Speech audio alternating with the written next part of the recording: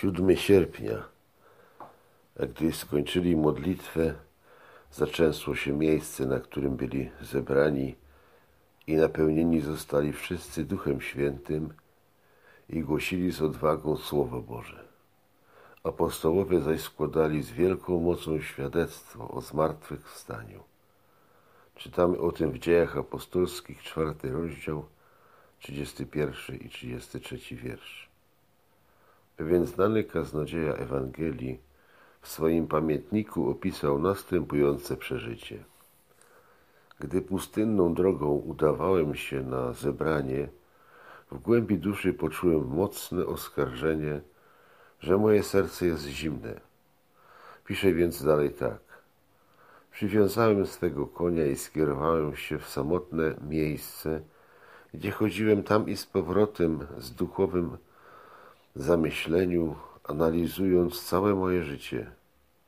Trzy godziny trwałem przed Bogiem pod uciskiem wielkiego utrapienia, dopóki wreszcie nie oświecił mnie ciepły promień poczucia Jego całkowitego przebaczenia. Bóg na nowo napełnił mnie Duchem Świętym.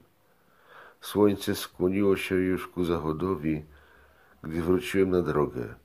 Odnalazłem konia, siadłem na, nie, na niego, na siodło i udałem się w dalszą drogę.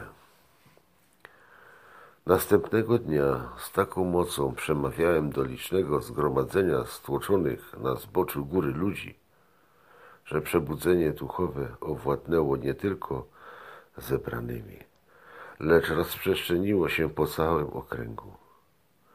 Najważniejsze pytanie, jakie można postawić narodzonym z wysokości jest takie. Czy otrzymaliście Ducha Świętego?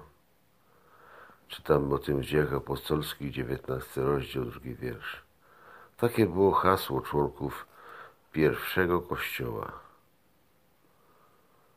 A gdy skończyli modlitwę, zaczęło się miejsce, na którym byli zebrani i napełnieni zostali wszyscy Duchem Świętym i głosili z odwagą Słowo Boże.